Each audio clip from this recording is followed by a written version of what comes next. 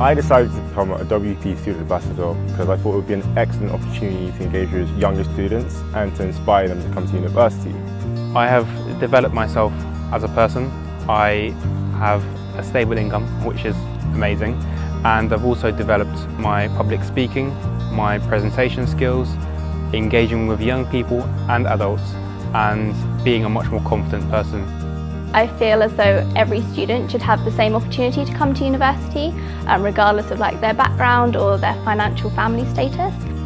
So as a Blue Ambassador, I work with other Blue Ambassadors, but I also work with the WP team who sort of support and uh, you know run the, the events primarily.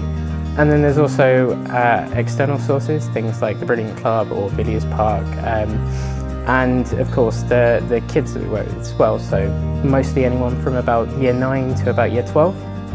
I've noticed some people feel like they can't go to uni. I want to show them that it's an option that they can. The WP ambassador role is much different to the other roles on campus just because it's more engaging. You find yourself interacting with students um, in groups or just speaking to them about their aspects of daily life. So on a typical campus visit, we actually start with going to collect the students from wherever it is they get dropped off and bring them to an introductory session.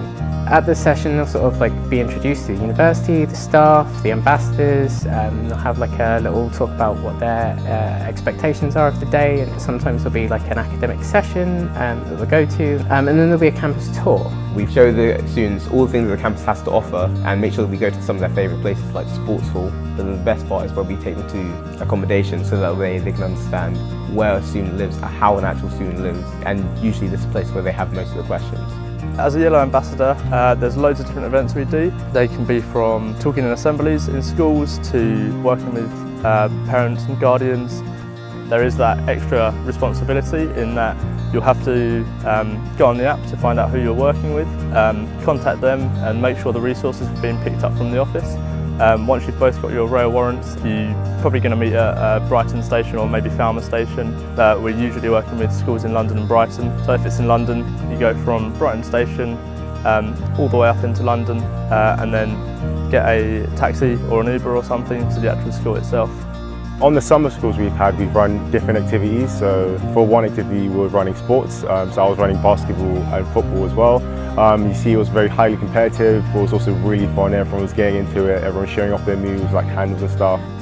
Being part of the WP team and being a student ambassador is uh, a really good way to kind of encourage those young people that maybe wouldn't go to university to kind of put the idea of university into their heads and kind of make sure that university is an option for them. WP and the Ambassador Scheme really does allow you to find out where your strengths are and develop on your strengths and also learn new skills.